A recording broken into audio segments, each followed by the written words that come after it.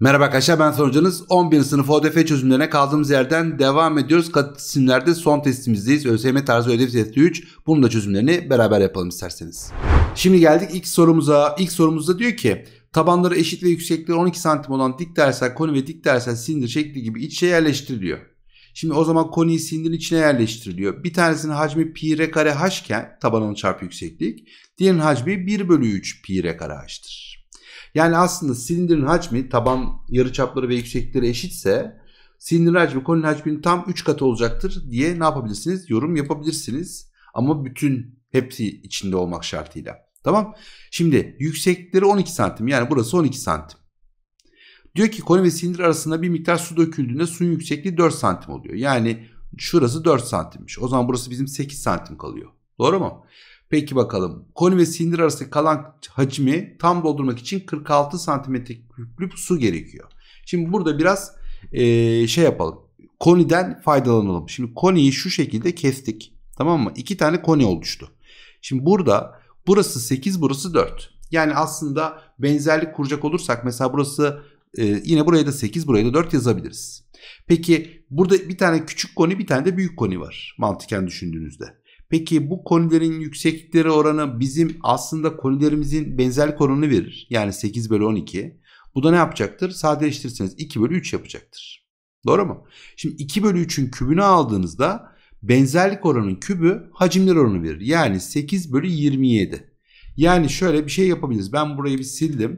Şimdi şurada su şu kadar geldi. Burası 8V'lik bir kısım. Tamamı 27V olduğuna göre buradaki kısımda o zaman ne yapıyor? 19V yapıyor diyebiliriz. Oldu mu? Şimdi tabii burası nasıldı? Burası 4 santimdi. Burası da 8 santimdi. Şimdi daha sonra e, mantıken düşündüğünüzde toplam 27 ve bizim silindirimizin hacmi. Pardon konimizin hacmi. Şimdi biz ne demiştik? Silin taban yarıçapı ve silindirin yükseklikleri yani koninin ve silindirin yükseklikleri birbirine eşitse silindirin hacmi koninin hacminin 3 katı. 27V'yi 3 ile çarparsanız ne yapar? 81V yapar mı? Yapar. Demek ki bizim silindirimizin hacmi toplamda 81V'dir. Şimdi şöyle yapalım. 81V ama şimdi burada parçalamış 8'e 4 yani 2'ye 1 oranında parçalamış. İsterseniz şöyle yapabilirsiniz. 4'e 4 derseniz 3 eşit parçaya ayırmış. 81'i 3'e bölerseniz ne yapar? 27V mi yapar? Şimdi silindirin her bir parçası 27V yaptı. Şimdi 19'u burada. Şimdi burası 27V'lik kısım. O zaman buraya ne kaldı? 8V kaldı. Şimdi 27V'ydi. Şimdi iki tane oldu burada. Şimdi burası 8'di. 27 ve 27 ve 54 V. Burası 54 V'lik bir silindir kısmı. Bunun tamamı 54 V'lik kısım. 54'ten 8 çıkartırsanız ne yapar? 46 V yapar. Şuradaki boşluk 46 V'ymiş.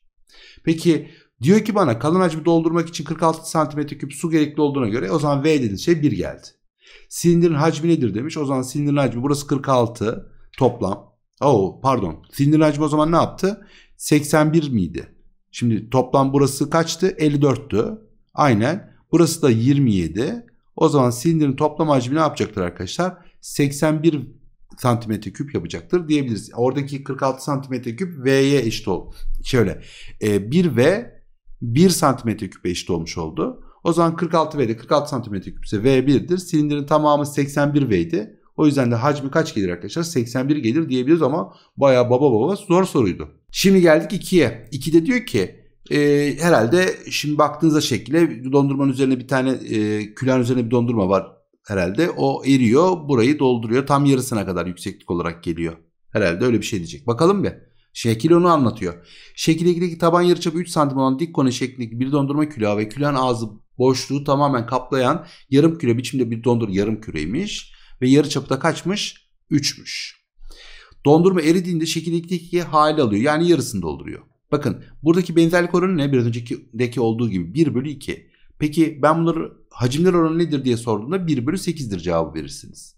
Burası V tamamı 8V. O zaman buraya ne kaldı? 7V. Tamam mı? O zaman bizim yarım küremiz V hacmine sahip. Yani yarım küre neydi? 1 bölü 2 tane. Yarım olduğu için 1 bölü 2 koydum. Şimdi kürenin formülü 4 bölü 3 çarpı pi çarpı r küp. R'si 3'ten 27. O zaman bu bunu sadeleştirirse 9. Bu da bunu sadeleştirirse 2. 18 pi ne yaptı? Şuradaki yarım kürenin hacmi yaptı. Burası 18 pi'ymiş. 18 pi. E bizden istediği şey ne? E, çekirdeklik hale aldığına göre külahın hacmini soruyor. Yani külahın hacmi ne kadardır arkadaşlar? 8 midir? O zaman ne yapacağız? 18 pi ile 8 çarpacağız. 80 64 daha ne yapar arkadaşlar? 144 pi yapar diyebiliriz. Bu da ikinci sorumuzun çözümüydü. Yani doğru cevabımız gelir? Denizi gelir. Şimdi geldik üçüncü sorumuza. Üçte diyor ki şekildeki kesik koni biçimde verilen vazonun üst taban yani buradan bahsediyor. Alt taban yarıçapının iki katı. Yani burası 2R burası R. Peki sonra diyor ki alt taban yarıçapının iki katı olup ana doğrusunun uzunluğu üst taban çapının uzunluğuna eşit. Yani çapı dediğinizde 4R yapar. O zaman buraya ne yazacağız? 4R yazacağız. Vazonun yüksekliği ne kadarmış arkadaşlar? 6 kök 5'miş. Şurada bir işlem yapıp R'yi bulabiliriz istersek. Orada bir dik yamuk var galiba. Şimdi şuradan şöyle işlem yapacak olursak. Değil mi? Onu ben buraya alayım. Daha net belli olsun. Şöyle bir şey yapalım. Burası 6 kök 5. Şuradan dik attık. Burası R, burası R, burası da R, burası 4R. Burası 6 kök 5. O zaman bunun karesi çarpı bunun karesi bunun karesine eşit. 6 kök 5'in karesi ne yapar? 36 çarpı 5 180. Ben şöyle yapayım. 6 kök 5'in karesi artı R kare eşittir. 4R'nin karesi 16 R kare. Ne yaptık? Şurada bir Pisagor yaptık. Peki burası 180 yaptı. R kareyi öbür tarafa attım 15 R kare. O zaman R kare ne yaptı? 12 yaptı. R buradan ne gelir arkadaşlar? 2 kök 3 gelir. Demek ki bizim taban yarıçapımız neymiş? 2 kök 3'müş. Şimdi ben bu kesik konuyu tamlıyorum. Tamam mı? Şöyle yaptım. Bizim taban yarıçapımız yani şurası 4 kök 3. Şurası 2 kök 3. Yani bunlar birbirine eşit. Neden? Bakın 2R'ye R. Doğru mu? 2R'ye R. O zaman benzerlik oranınız 1 bölü 2'dir. Hacimler oranınız nedir? Şimdi hacimler oranı bir benzerlik oranının nesiydi? Kübüydü. O zaman burası 1 bölü 8'dir. O zaman bunun hacmi V iken bunun hacmi ne yapacak arkadaşlar? 7V yapacak. Çünkü tamamı 8V olduğuna göre oraya 7V kaldı. Şimdi şunu şuradan kaldıralım be. Şimdi ben ne yapayım? Büyük koninin hacmini bulayım. Bu arada burası 6 kök 5. Değil mi? O zaman burası da 6 kök 5. Biz tamamını bulalım. Tamamını bulalım koninin hacmini. Sonra 8'de 7'sine bakalım. Toplam 8 ve 8 ve bizden istediği 7 v ise 8'e bölüp 7 ile çarpalım. O zaman nasıl yapacağız koninin hacmini? Taban alanı çarpı yükseklik bölü 3. Yani 1 bölü 3 pi çarpı r kare r'si 4 kök 3. 4 kök 3'ün karesi çarpı h. h ne? Şimdi h şurası. Yani 12 kök 5. Şimdi ben bunu ne kadar hesaplayacağım? 7 bölü 8'ini hesaplayacağım. Şimdi peki bakalım neler gelecek neler gelecek. Şimdi şurası 16 çarpı 3 48 yaptı burası. 8 kere 3 24 de bu sadeleşirse 2 kalır. Şurada bir 7 kaldı. Bir 2 kaldı bir de 12 kaldı. 14 çarpı 12 ne yapar? 14 çarpı yanlış söylemiyorum değil mi? 14 çarpı 12 140 168 mi yapar? Evet 168 kök 5 yapar diyebiliriz kesik koninin hacmi için. Biraz işlemi bol dikkatli işlem yapmalısınız bilginiz olsun. Üçüncü sorunun çözümü de bu şekildeydi. Şimdi geldik 4'e. İşte 4'te diyor ki şekil 1'de Ahmet elindeki sopayı A noktasından hacmi 392 pi santimetre küp olan dik bir koni oluşturacak şekilde çeviriyor. Sopayı şöyle çeviriyor. Koni oluşuyor. A'nın yerden uzaklığı A neresi? Burası 15. Bu da 8. O zaman şu taban yarıçapına 7 kaldı. Şimdi hacim buydu. O zaman hacim nasıl buluyoruz? 1 bölü 3 pi r kare h. Pi çarpı r kare 49 çarpı h ne yaptı? 392 pi yaptı. Pi'ler birbirini götürdü. Şimdi 49'da 392 sadeleşiyordur herhalde. 8 versek oluyor mu? Oluyor. O zaman h bölü 3 8 ise h için ne diyebilirsiniz arkadaşlar? 24. Demek ki yüksekliğimiz 24'müş. Ha, o zaman sopanın yüksekliği de aslında şuradaki üçgende Pisagor yapacak olursanız 7, 24, 25 üçgeninden sopanın uzunluğunun 25 santim olduğunu bulursunuz. Peki bakalım şekil 2'ye geçelim. Şekil 2'deki şekil 2'de ise Ahmet ne yapıyor? Sopayı B noktasından yan alanı 375 pi santimetre kare olacak şekilde yine bir dik koni oluşturuyor. Çizdiği çemberin yayının en yere en yakın uzaklığı da 10 santim. Şimdi nasıl daire yan alanı nasıl buluyorduk? Ben Pirelli diye bir lastik markasından buluyordum. PRL. L ana doğrusu. R taban yarıçapı. Pi çarpı R çarpı 25 neye eşit arkadaşlar? 375 pi eşit. Pi'ler gider. Buradan ne yaptı? 15 mi yaptı? O zaman R'de kaç yaptı? 15. Demek ki burada bir 15 santimlik bir yarıçap çiziyor. Şimdi burası zaten 20 santimdi galiba değil mi? Bu tabii bu sefer değişiyor. Değil mi? 15, 20, 25. O zaman burası da 15. O zaman burası 20 ise bu sefer burası 25 santim yükseklikte tutuyor. Burada 15 santim yükseklikte tuttu. Burada böyle tuttu. Yani onu biz bilmiyoruz. Çizdiği çember yayının yere en yakın uzaklığı 10 santim. Tamam okey. Her iki şekilde de konilerin yüksekleri yere paralel. Yani paralel. Tamam okey. Dik koni demeye getiriyor. Buna göre alan DCBE. DCBE. Yani şurada oluşan dik yamuğun alanı. O zaman bu 20 ise bu 20. Yamuğun alanı nasıl buluyoruz? Alt taban artı üst taban 10 artı 25 çarpı yükseklik yani 20 bölü 2 ile buluyoruz. Yani 35 çarpı 10'dan ne gelir bizim cevabımız? 350 gelir diyebiliriz. Bizim Deli Ahmet bunları yapıyormuş. Böyle sopayla oynuyormuş. Peki bakalım. Geldik 5. sorumuza. 5'te diyor ki şekildeki kesiklik koni biçimde kovanın içi su ile dolu iken yan yüzeyinin C noktası derinliğine dolayı içerisinde 12 santim yükseklikte su kalıyor. Şurası 12 santim. Tamam. Ee, EC 2 tane BC. Şimdi burası 2K, burası K. CH şurası 12. Şuradaki BH 3. Kovanın D üst çapının uzunluğu da alt çapın uzunluğunun iki katı. Tamam. Burası yani şu kısmı R, şu kısmı 2R diyebiliriz. Tamam. Şimdi birkaç tane şey yapacağız. Soru kısa değil aslında. Şimdi önce şu tarafla ilgileneceğim. Tamam mı? Orada bir benzerliğimiz var. Şimdi benzerlik nasıl benzerlik? Kovadan şuradan aslında bir tane daha yaptım. Şöyle yaptım. Tamam mı? Baktığınızda burası 3 bakın. Şöyle bir şey oluştu. Değil mi? Burası K, burası 2K. Burası kaç? 3. Tam şunlar birbirine paralel. O zaman burası 3 ise buraya da ne kaldı? 6 kaldı. Demek ki burası 6. Bak şimdi. Şurası 2R, şurası da 2R. Şunlar aynı. Çünkü merkezleri aynı olduğuna göre. Şurası da 2R, şurası da 2R. R artı 9 2R ise R'si kaç geldi buradan? 9 geldi. He. Demek ki o zaman bizim konimizin taban üstteki şurası 18 geldi. Kesik koniydi. Bunu böyle devam ettirdim. Şuradaki kısım da kaç gelecek? 9 gelecek. Hatta bu böyle devam ettiğinde burada birleşecek. Hatta şöyle bir şey diyebilir miyiz? Bunlar da birbirine eşittir diyebilir miyiz? Deriz. Yalnız suyumuz burada kaldı. Şöyle bölelim. Şimdi orası kaça kaç? 1'e 2. Burası 1'e 2 ise yani burası K, burası 2K. Şimdi şu mesafeli şu mesafe eşit olduğuna göre burası da 3K. Şimdi burası biraz karışacak gibi dikkat etmek lazım. CH 12. Şurası 12 idi değil mi? Şurası 12. Şimdi şurası 12 ise benzerlik oranımız kaç? 1'e 3. 1'e 3. O zaman 12 bölü ne diyelim oraya? H dersek 36 mı geldi? Demek ki şurası 36. Yani neresi? Şurası 36. O zaman burası da 36 oluyor. Toplam yüksekliğimiz de 72 yaptı. Tamam. Toplam yüksekliğimiz 72. H 72. R'si kaç? 18. Zaten şıklarda büyük sayılar var. Şimdi burada hacimlerle ilgili konuşacağız. Hacimler oranı neydi konide? E, benzerlik oranı kübüydü. Şimdi mesela şuradan benzerlik kuracak olursak 3 bölü 4. Kübünü alırsak kaç yapar? Kübünü alınca 27 bölü 64. Demek ki burası 27 ve bunun tamamı ne kadar yaptı? 64. 64'ten 20'yi çıkarttık. Burası 37V oldu. Şurası 37V geldi. Biraz karıştı yine. Burası 37V. Burası 27V. Şimdi e, benzerlik oranı şunu kaldırdım. Şuradaki benzerlik oranı ne? 1 bölü 2. Şimdi burada da K'mız var. 1 bölü 3K bölü 6K. 1 bölü 2. 1 bölü 2'nin kübü ne yapar? 1 bölü 8. 1 bölü 8. Şimdi şunun tamamı yeşilin 8 katı. O zaman şurası yani sarı kısım 7 katı. 27'yi 7 ile çarpınca ne yapıyor? 189 mu yapıyor? Şu sarının tamamı 189. O zaman burası 189'dan 37 çıkartsak ne yapar? E, 152V yapar.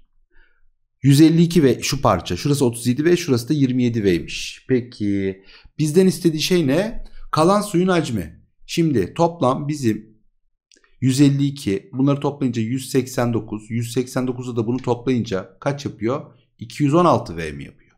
216 V'yi bulalım. Sonra buradan da 37 V'ye geçelim.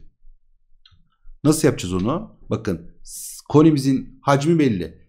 1 bölü 3 pi r kare 18'in karesi çarpı h 72. Bunu bulacağız. Tamam mı? Şunu bulduk. Şimdi şunu şuraya alalım. Burası biraz karıştı. Sonra gidelim bunu 216'ya bölelim. Çünkü 216V buna eşit. Sonra bunu ne yapalım? 37 ile çarpalım. 3 ile 20, 72 sadeleşirse aa şunları şöyle yapalım. 72 ile 212 saat 216 sadeleşirse burada 3 kalır. Tamam O zaman 18'in karesi 18'in karesi 18 çarpı 18 olsun. Tamam mı? Şunu şöyle yapalım. 18 çarpı 18 çarpı 72. Şu 3 ile 18 sadeleştirdik. Burada 6 kaldı.